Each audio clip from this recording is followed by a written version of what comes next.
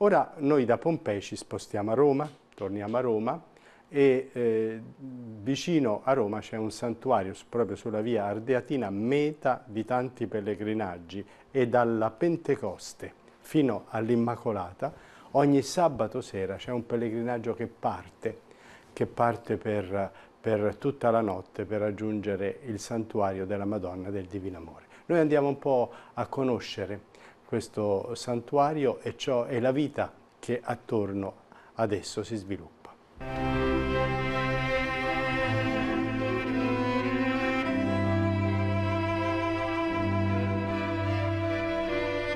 Io ho ricevuto una grandissima grazia, grande, però è una cosa personale, la tengo per me, per noi di famiglia. Noi ogni anno facciamo questa visita al Divino Amore e veniamo a chiedere anche alla Madonna, a questo santuario, che ci manda un buon raccolto finché alla fine dell'anno risolviamo qualche cosa. Dal 90 che veniamo a piedi, ci abbiamo tanta, tanta, tanta fede. Alla Madonna del Divino Amore per noi è un simbolo, è un simbolo.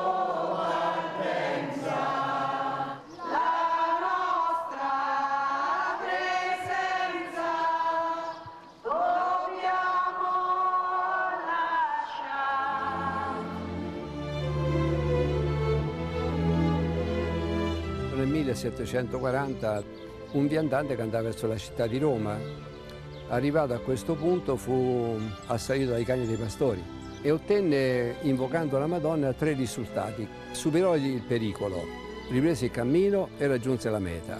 Da lì cominciò una fiumana di grazie e miracoli. Maria è una donna di famiglia, una donna di casa, qui alla casa di campagna, quindi ama accogliere i suoi figli che vengono per ascoltarli, oltre che per elargire le grazie del suo divino amore.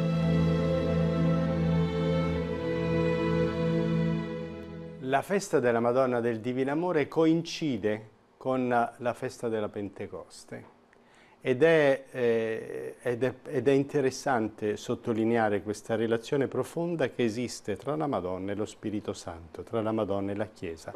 La Madonna era presente nel cenacolo nel momento in cui lo Spirito Santo scende sugli Apostoli e nasce la Chiesa, la Chiesa che poi si diffonde nel mondo intero e la Madonna del Divino Amore eh, mette proprio in luce questo amore di Dio, la potenza dello Spirito Santo che cambia la vita degli uomini. Questo santuario, lo abbiamo sentito, risale al secolo XVIII, ma è stato nel secolo scorso riscoperto, rimesso in luce grazie proprio ad un parroco romano, Don Umberto Terenzi, che poi ha, ha, fondato attorno alla Madonna del Divino Amore un istituto religioso con dei sacerdoti, gli oblati del Divino Amore e delle religiose. Insomma, la Madonna agisce non soltanto facendo grazie a chi le domanda e, e nel santuario del Divino Amore si dice che fa le grazie a tutte loro, ma anche suscitando anime generose che seguano il suo esempio, diventare madre